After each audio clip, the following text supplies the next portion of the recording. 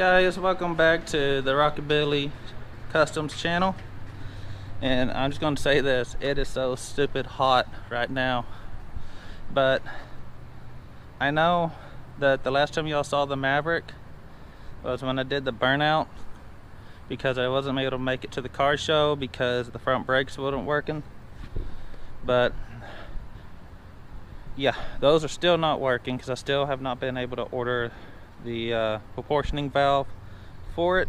So, but turn it around show you. So my Maverick is on all four. Now, I know the front brakes don't work, but I got rear brakes in the back. So, I'm going to drive the car.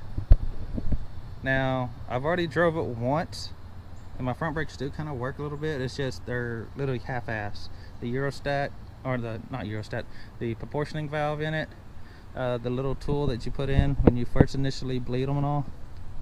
Uh, I guess a buddy of mine I'm not gonna say who because I don't know exactly who because I had like four people help me at different times might have hit the brakes whenever I was not around because I had a, they were all sitting in the car one at a time to help me at various different times. So I don't think I can guess because the Eurostat, why I keep on saying Eurostat, that goes in the gas tank. The proportioning valve is locked and it's stuck open. That's why I'm front only drip. But I have brakes in the back, so at least I can stop the car, just can't get stupid crazy in it. So, um, my seats are in it, my vest, it's been in for a while. But yeah, my horn, yeah, I don't have a horn on this car. But yeah, my seats are from Procar. Uh, and they are extremely comfortable. I love them. I'm probably going to keep these seats in here for good. So, um, rear end is in, even though I think I'm hearing something in the back. I'm not 100% sure. So, now, going back to the rear end. Y'all saw me cut and chop it. I will link that video in the end or whatever. Can I do this? Put it right up here? I don't know. I'm gonna look to see if I can. But yeah, if so, it's gonna be right there. If not, I'll put it at the end of the video. Y'all can watch it. But I chopped and narrowed the rear end and put new axles in it. That's all I did. And also did the disc brake conversion for the back. So, besides that, I weld on the purchase. Went with it. I did not change the bearings and I'm thinking I'm hearing the bearings in it. From which, when I went back and asked the gentleman that I got the rear end from, he said the truck was sitting for about 20 years.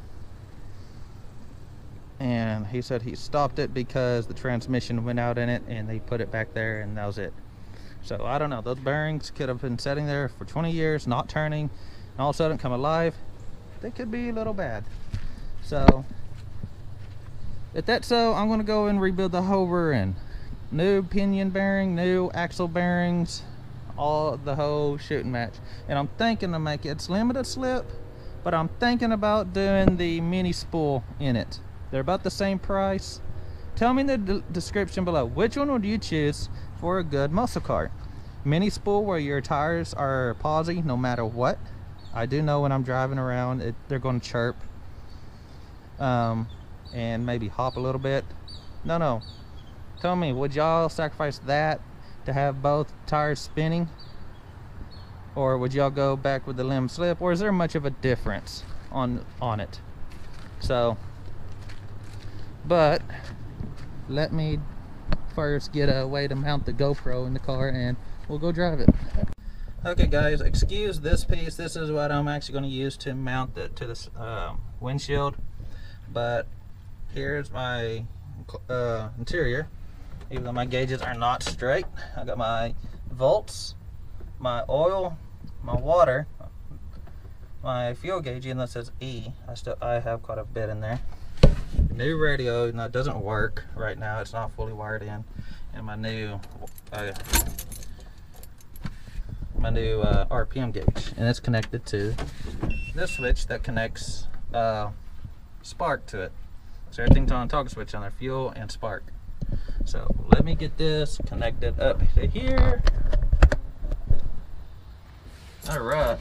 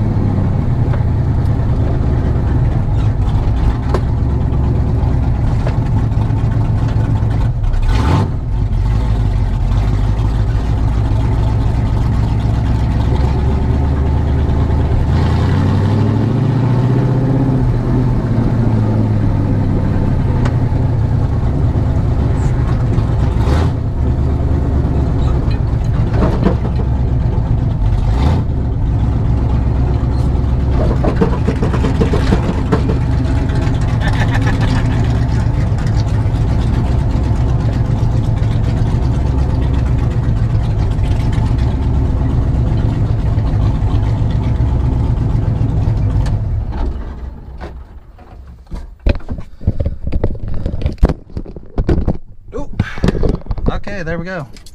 Sorry, I pulled the tape off and the GoPro just fell. But, okay, well, for driving it, it's not too bad. Okay. And it's like a rocket right now, comparing to what it used to be. Now, if y'all heard any clunking, it's because my tailpipes are not up there fully. So it's going to be dragging all the way from the header all the way back on that hump over there. That's the driveway part coming in. But yeah, I think my rear end is howling. I've talked to a couple buddies already, and um, they said if it's just now starting to do that, you probably don't have nothing to worry about because. But then again, if it's been doing it for a while, you might have some scoring on your axles. I don't know. So, not going to drive the car very much until I get that replaced. And when that does, y'all see it here on YouTube. But as far as everything else, I got to get the front brakes working. So change that proportioning valve out. that's right up underneath the master cylinder. And that's it for now. If y'all see this duct tape right here, it's because that's where my mirror went and there's just holes there. And it's been raining pretty good, so I just didn't want rain getting into there. So, guys, y'all think I should start this car up and walk around it? Yeah, I'm going to. Maybe I can hear something that I don't hear inside the car.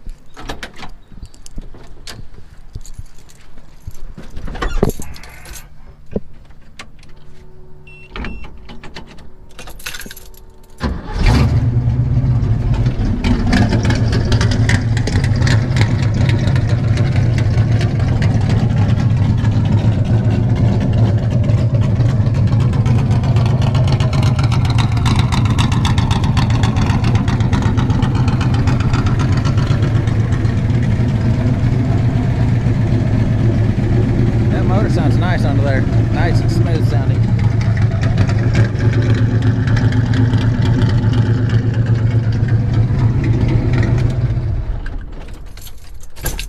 Okay.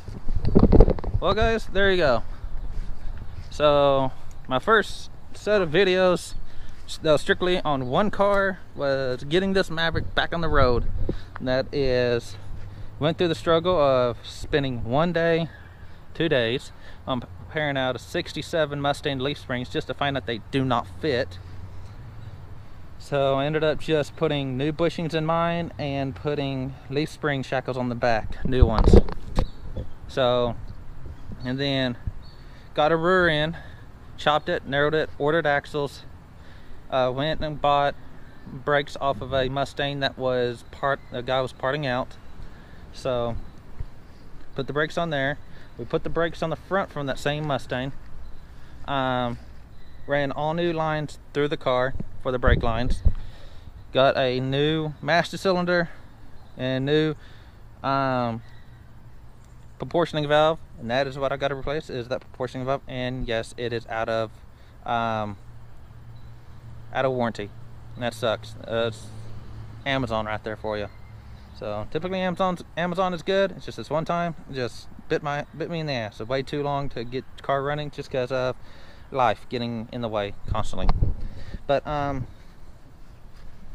and then we put new lower control arm, new outer tie rod ends, new inner tie rod ends, and new ball joint up on top because you can unbolt it and bolt it in.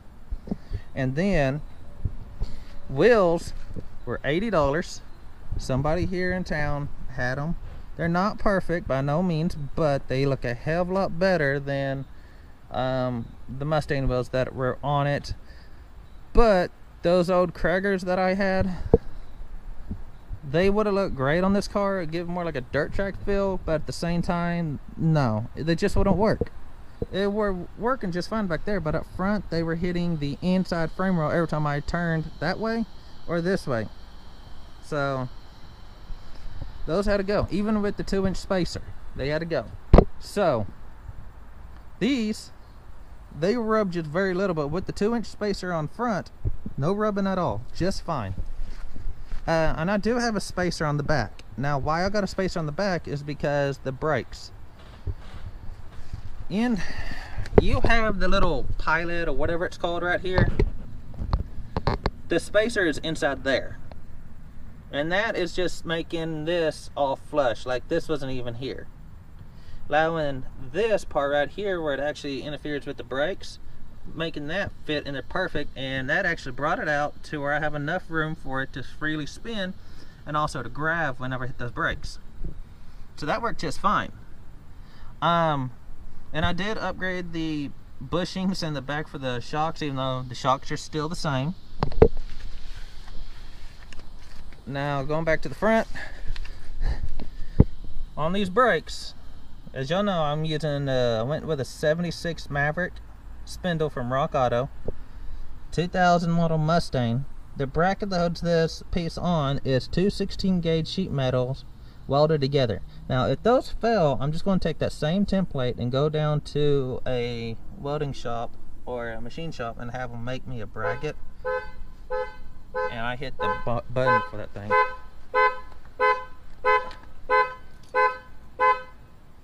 Batteries are going out, folks. When I accidentally hit the button, they work. But going back to this. So, put that on there. And there's the two inch spacer bringing this wheel out because I did not order the wheel. It's just what was available. So if I ordered the wheel, I would have no spacer on that at all. Um, but it doesn't come out past the fender lip and it looks great in there. And these are 18s. Okay, I've heard people saying you cannot put an 18 on a Maverick. Well, I just did. And it's not interfering with nothing. There's no wear marks on there. And I was cutting this thing uh, tight. Making this tire come in tight. So, works just fine. And I love the stance of the car. Stance of the car looks nice. So, not raked it on the back. And it's just nice and level. Now, could I drop it? I'd love to drop this thing. Just a little lower. But, yeah. I think it's doing great for what I can do right now. So, whole front end's all new. And if y'all asking, I did say in the video, the Maverick spin uh, brake lines bolted into the caliper. They seem like they did, and they seem like they tightened down, but it was. I went in and put an adapter in it to make it work even better, I guess you can say. So there is an adapter going from the Maverick brake lines to the Mustang brake lines. But guys when this car comes back this car will be completely torn down sandblasted and all done. It's just I needed a car to drive right now because that S10 is no motor no transmission no wiring at all in that truck. That 240 is what I'm doing right now. This Durango is not mine it's actually my wife's. And I don't want it to be a reason why she can't do something like take the kids to the doctor's office on her own because I'm using the vehicle. So, yeah. So now I got my car, I can drive it and go back and just have fun in it. So, but yeah, once this car comes back, we'll tear down this car completely and some of the parts that are on here will stay the same like those seats. But then other parts will just be thrown away. So okay guys that's gonna be it for this episode. And it wasn't a tinkering around episode. It was just hey y'all didn't get to see the Maverick actually drive. So I wanted to show you that it drove. So the Maverick like I said will come back. But if y'all like this video and y'all like these old cars, you like that import that I've been building, then hit subscribe and hit the notification so when I upload a video, y'all be the first to know. And for the 205 subscribers that I got, I personally want to say thank you. Thank y'all very much for me even hitting this goal. I when I first started YouTube, I was thinking, I won't ever hit that. It's just I want to make videos so therefore I have something that my kids could go back and see what their daddy was doing when they were born or not even born yet. So that's really kind of why I want to do it. But then in the back of my mind, I was like, yeah, I want to do YouTube. I want to be a big YouTube star to make it. I want to supply, I want to be the uh, supplier for my family for food, bills, a house, whatever my kids want. And the good thing about YouTube is, let's say my kids have something I need to do. I don't have to ask a boss, say, hey, can I take off? My kids got to go. No, I say, okay, cool. I'm just going to go and be there for my kids. I want to be that father that is there for their kids. I want to be that husband that's there for their wife. So doing YouTube can make that a reality. So guys, it's y'all that's going to help me get to there. So again, I want to say thank y'all for the ones that are subscribing. And the ones that are just watching, hit subscribe, please. so, all right guys, I'm going to get out of here. Hey, make sure you hit that thumbs up and tell me y'all like this video. That tells me that y'all like these old cars. And that tells me, hey, keep on going, keep on doing this. Hey, and if y'all like these American muscle cars, But America, down in the comments. Do something to say y'all's appreciation for these old cars. So, all right, guys, I'm gonna get out of here. Y'all take it easy and peace. I'm gonna walk around the car and let y'all see it I'm getting out of here.